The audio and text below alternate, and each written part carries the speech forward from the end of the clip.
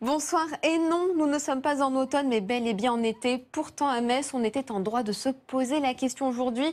Parce que le programme n'était clairement pas réjouissant. Grisaille, pluie, voire même orage et fraîcheur. Bref, vous l'aurez compris, une journée qui n'est pas indispensable de garder en mémoire.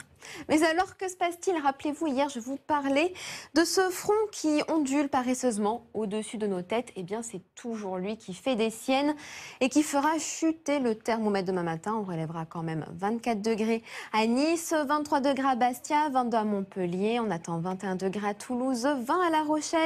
Il fera 19 degrés à Mulhouse, 18 au Mans. On attend 17 degrés à Lille et 16 degrés à Brest, à Cherbourg, Rouen ou encore à Aurillac. Alors, demain matin, nous retrouverons notre petit front entre le nord-est et l'Aquitaine, grisant le ciel, donnant des précipitations et des orages. De l'orage aussi à l'arrière, sous le ciel de traîne en plus des averses.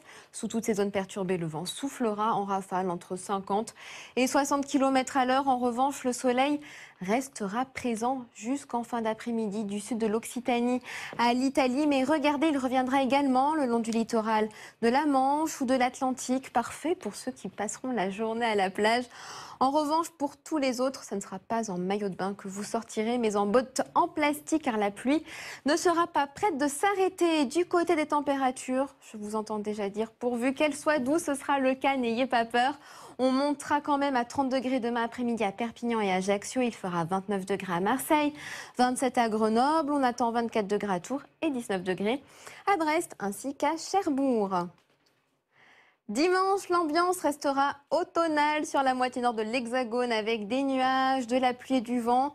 Même chose sur les Pyrénées, alors qu'ailleurs on profitera de conditions plus calmes et plus ensoleillées. Lundi a noté l'arrivée d'une nouvelle perturbation de la Bretagne aux Ardennes, avec bien évidemment des nuages et des averses. À l'avant, un voile nuageux assez s'étendra des Pays de la Loire à l'Alsace.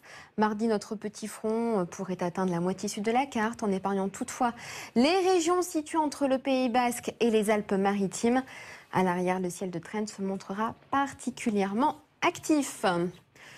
Et finalement, on conservera cette ambiance mitigée pour ce début de mois d'août. Mercredi, la grisaille sera quasi totale, à l'exception de l'extrême sud du pays.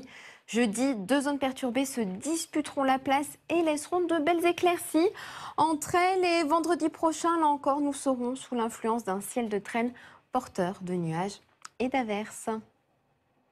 Et vous pouvez accéder heure par heure à la météo de votre ville sur m6météo.fr. Ce soir, passez un bon moment devant papa ou maman et tout de suite la météo des plages.